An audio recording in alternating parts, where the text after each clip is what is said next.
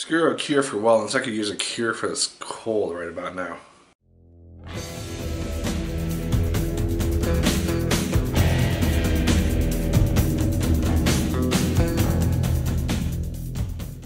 Hello once again watchers of Good Movies, my name is Nick Pell and this is once again coming from my apartment. Now today we are going to be talking about the film A Cure for Wellness. Now this is a film which I've been very very curious about seeing for a very long time ever since I first saw the trailer and now I've seen it Let's talk about it. The main this film is that we have Dane DeHaan. He is a rising star in this Wall Street uh, stock market company, and he is sent to find the CEO of his company to bring them back to New York, and he ends up in this institute for treating people with sickness, and he ends up staying there due to circumstances more or less beyond his control. And as he stays there, he learns that there's a little bit more to this place than meets the eye originally, and it becomes a very, very interesting mystery as a result. Now, I have to give praise to the performances in this film. I thought Dane DeHaan did a very, very good job in this movie. He's the leading man, he's the leading star, he's the person that we follow throughout the course of this film. There are scenes where he is in utter terror, and I would be too, uh, in certain events that are happening the, over the course of the film. And he displays that very, very well. I thought he gave a, a fantastic performance in this film. It's a very dialogue-driven film, and so he really has to deliver his lines in an interesting way, which is going to keep the audience's attention. And I thought that he did that just really, really well. Jason Isaacs is the head of the Institute, and he does a very good job being a very creepy guy. He starts out as this run-of-the-mill, oh, hey, I'm a doctor, I'm going to try to help you, I want to keep everybody healthy, I want to cure this illness which is plaguing humanity.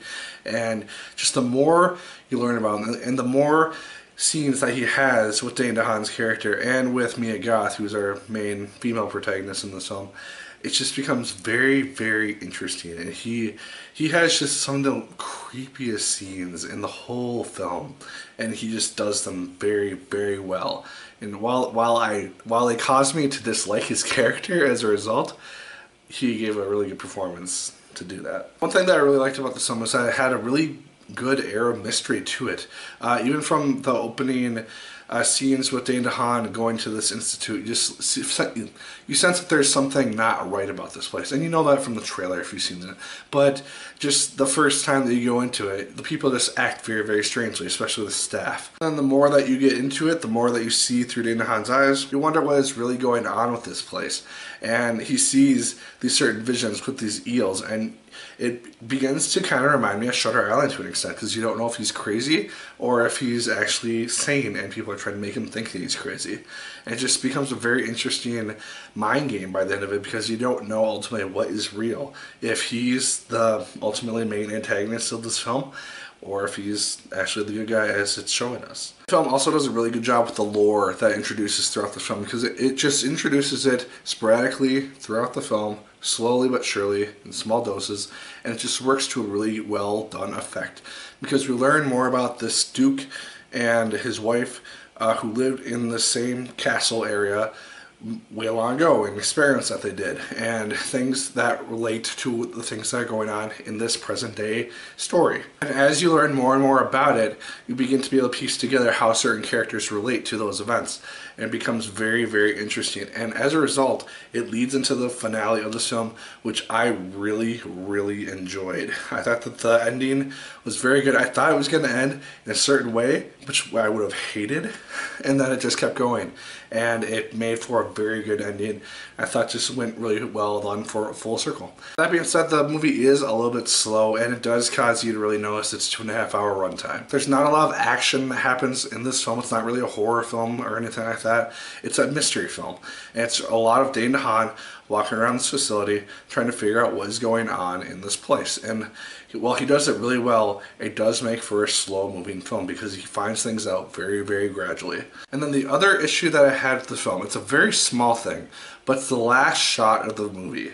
And I'm not going to spoil it, obviously, but there's something which happens which doesn't really seem to fit based on what I heard throughout the film with the lore of the film, basically the, the history of this place. It doesn't really seem to fit with anything that we were told, unless I just missed something. And that's something that you really have to do with this film. You have to listen to what is being told because a lot of it adds up to the, the main story and the background of this film. That being said, the last shot just didn't really seem to work within the realms of that lore that we were told, at least from what I could tell. I kind of want to rewatch the movie eventually at some point just to see if I maybe missed a comment or some sort of small part of the detail of this film itself. But guys, overall, I had a really fun time watching A Cure for Wellness. I thought it was a really well done movie. I thought Dane DeHaan gave a very good performance and led this film really well. Jason Isaacs did a really good job as well being the creepy villain of the film. It's just a very interesting film. It does have some disturbing scenes, I will say that. So if you're not good with gore or kind of really cringe-worthy scenes, probably don't watch this because it does have a few of those which will make you really uncomfortable. But otherwise, I had a really fun time with this film. I definitely say check it out if you have the opportunity definitely recommended. guys, those are my thoughts on A Cure for Wellness. Let me know yours in the comments down below. Did you like it as much as I did? Did you hate it more than I did? Let me know. Like, fair, comment, and subscribe once again if you so choose. I appreciate it immensely. And as always, my people, my name is Nick Pell. And once again, keep on watching.